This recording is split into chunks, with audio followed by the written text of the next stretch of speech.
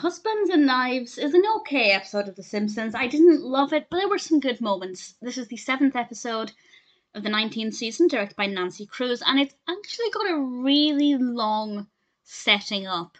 And thankfully, because I really liked it, that wasn't too bad, but it did take quite a while to get anywhere. It starts off with a new comic book store opening up opposite comic book guys and i loved the scenes in it i just thought it was so much fun so many things to look at so many of the characters there really thoroughly enjoyed it but i do feel like it was a little longer than the usual setup so had i not liked it that might have been a bit of a problem and then we get in with the name the main narrative which is marge opens up a gym for the average woman and i feel like a woman's only gym is not something they would try and tackle today. Well, it's The Simpsons, maybe they would.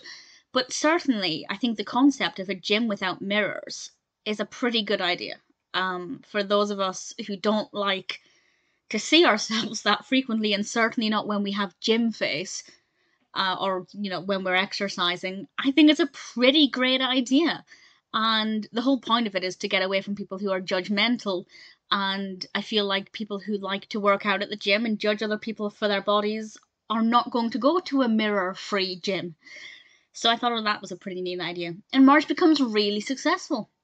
But Homer's really worried that she's going to uh, upgrade for a trophy husband. And Homer takes drastic action. I won't say exactly what he does, but I will say it looked weird. And in in a way that was very effective and really interesting, but definitely unnerving. I liked it. I thought it was a good concept.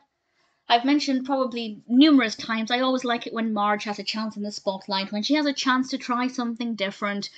And this is what we get here. And as I said, I love the concept of a mirrorless gym. Because no mirrors, no judgment. It might not be that easy, but I do really like that idea. And I think one of the rules was no cell phones as well, if I'm not mistaken which might be a problem if you listen to music on your phone. But again, I feel like I mean I have I, I have exercise equipment at home. I haven't been into an actual gym in a long time, but I feel like with the increase in selfies, I would hate to be working out, gym face, full sweat, and I'm, you know, in the background of somebody's selfie. I just hate it. So massive credit to Marge for this. I think she did a wonderful thing and uh, definitely deserved her successes. I completely understand Homer's insecurities, but I didn't love the way that part of the narrative went. I feel like had they explored things in a bit more depth, you know, had a, a shorter introduction and, and got the ball rolling more quickly, I might have found it more interesting. But what we got was okay. It's an okay episode. It's never going to be a personal favourite, but I certainly wouldn't skip it. There were enough things in it to you know, keep me engaged. Love the opening, love the new comic book store. Really liked Marge's story. It may not be the best episode, but actually, Husbands and Knives, I've just got that title. Husbands and Knives is uh, pretty good.